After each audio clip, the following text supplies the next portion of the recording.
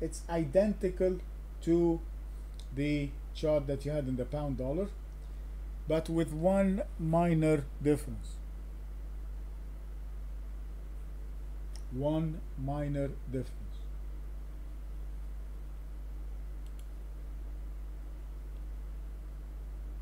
It's not minor, but it's one of the telltales of the chart. Now the major trend in the Euro Aussie is all the way to the downside. Absolutely, I mean it's it's basically a bear market.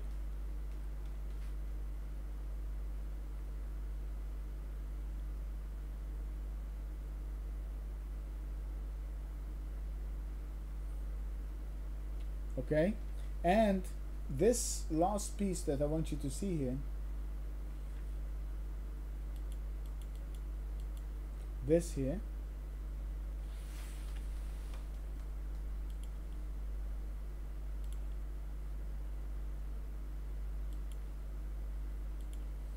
That is a minor structure right there.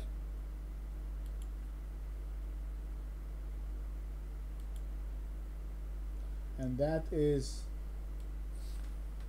the 101.3 131.14 and if you look here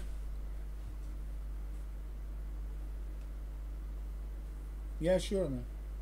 If you look here we have broken below the structure point. This means this thing should capitulate. This means that the euro should capitulate to the downside. If it's true break below a structure point. If it's not a head fake.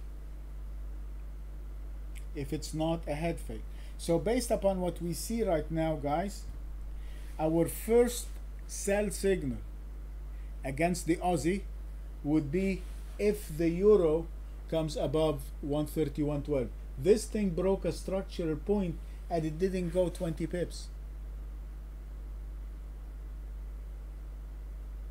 So this means what? This means that if if it comes back above the 131.12, we are going to buy the euro aussie and we can expect this thing to go higher. If it doesn't well it should break the structure point and should take me down to the 129.29 but you're more cautious on this side on the um, it looks like it wants to turn around to the upside. So with that our easy selling point is when it takes out these lows which it should if it that would be 130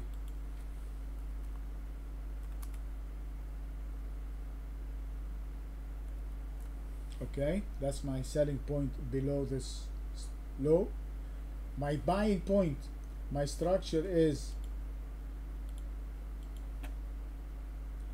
131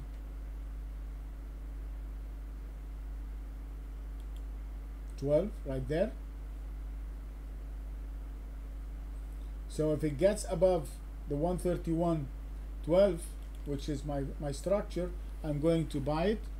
So my buying point is 131.12 and it is also my structure long point.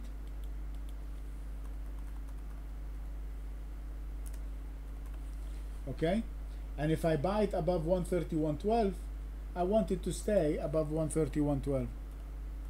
So you're gonna give it, I mean, maybe like 10 15 pips you just want to give it some room for it to work because these things take a little bit time. And on the long side if we're looking at a structure point to the upside that's the closest one over here is the 138 it's not precise but I'm putting it right there. That's my structure long point. And if I said if I'm going to go short below the 131.12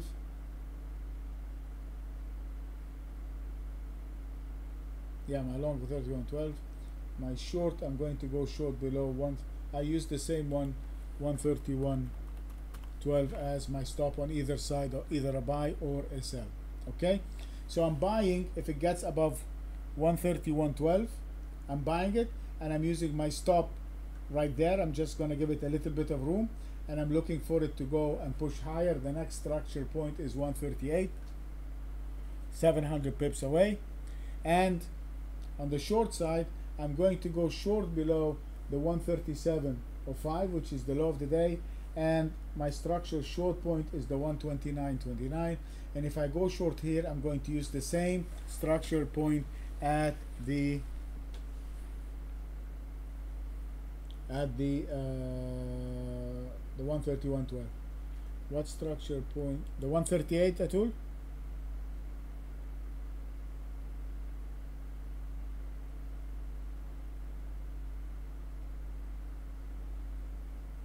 the structure long point is 131.12 yeah because it's right there. I mean this is this is this is the only pla- there is no other place right there.